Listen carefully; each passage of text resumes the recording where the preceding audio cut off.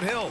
And what a great matchup, Grant. Yeah, Well, guys, both of these teams have looked sharp in their games. MP and Shep Owens in particular, and they have some extra Green, get off! this is the best jump shot I've Well, oh. words have been exchanged oh, between First the two, play and is this summer league game You know what? You know what? was 27, 26 percent, Kurt. both Shep and MP treat this as a regular season game. Green.